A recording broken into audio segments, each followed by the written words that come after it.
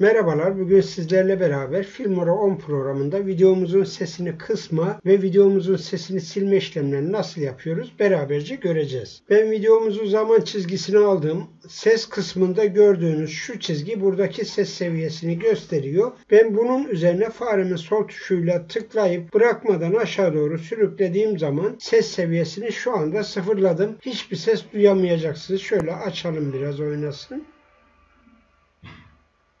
Evet tekrardan bu sesi açmak için de bu kısmın üzerinde sağ tık yapıyorum. Show Properties diyorum. Burada yine audio kısmı gördüğünüz gibi seçili. Ben buradan sesimin ayarını buradan artırarak istediğim noktaya da yine getirebilirim. Sıfır bizim normal noktamız. Üstü seste yükselme sağlıyor. Altı düşme sağlıyor. Tabi burada sesin patlamamasına da dikkat etmemiz gerekiyor. Burada ayarlamamız bittikten sonra OK diyerek bu sesi geçerli hale getiriyoruz. Videoda müziği silmek için de şu anda videomuz ve müziğimiz birleşik vaziyette. Üzerine ben sağ tık yapıyorum. Buradan Detach Audio kısmını seçiyorum. Müziğimizle videomuzu şu anda ayırdım. Her birisi müstakil oldu gördüğünüz gibi. Daha sonra bunu seçtikten sonra delete tuşuna basarak da müziğimizi rahatlıkla silebilirim. Anlatım bu kadar. İyi günler.